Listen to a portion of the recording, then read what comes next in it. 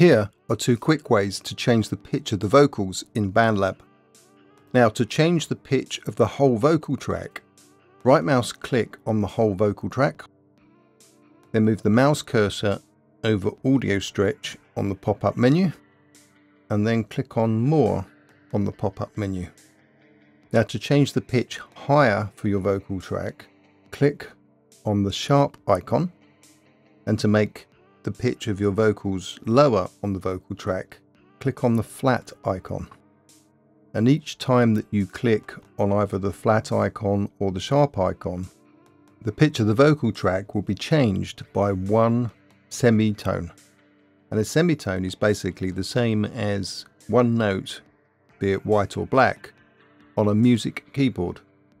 So I'm just going to put this five semitones higher now if you want to hear what it sounds like, click on this grey bar here just in front of the vocals on your vocal track.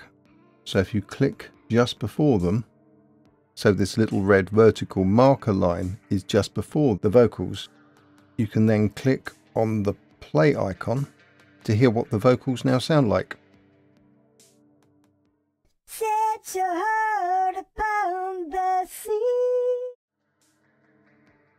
And if you don't like the changes, you can click down here on revert changes and that will set this back to zero and the pitch change will be removed. And then you can close this by clicking on the X icon or click on apply. And now that's been added to your vocal track.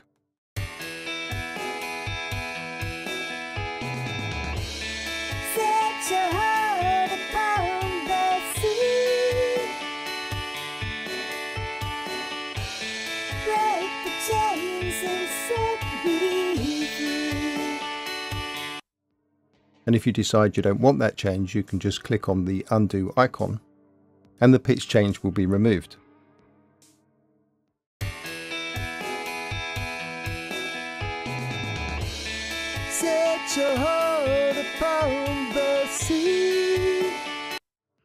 Now sometimes you just want to change one word or one phrase of your vocal track.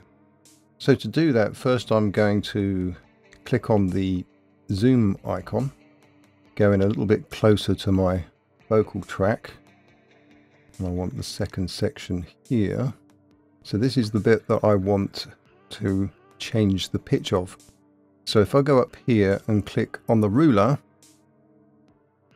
and that will move this white vertical track position marker to the beginning of the section that I want to change. I'll just check that that's the correct place.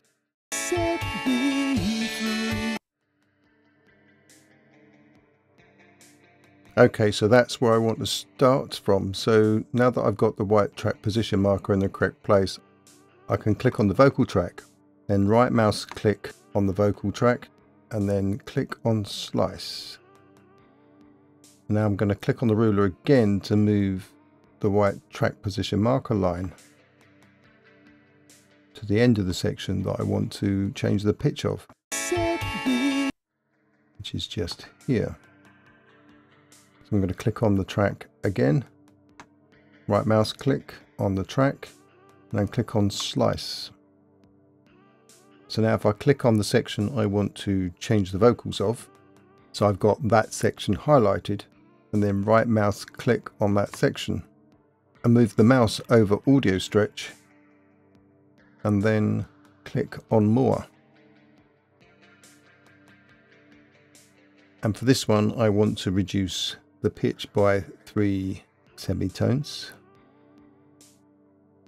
Now unfortunately this audio stretch window, if you press on the player, it'll change the pitch of the whole track.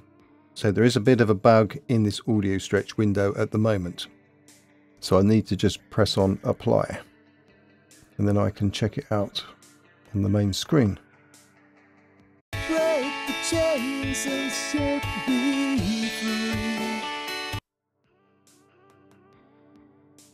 And if it doesn't sound right, you can click on the undo icon and it will set it back to what it was before.